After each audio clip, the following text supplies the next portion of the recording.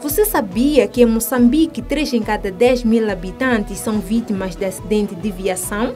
Na edição desta semana, conheça histórias de quem viu a sua vida mudar por conta de um acidente e as medidas que estão a ser implementadas para minimizar este problema. Acompanhe também o drama de famílias que, para ter iluminação, despendem mais que o habitual.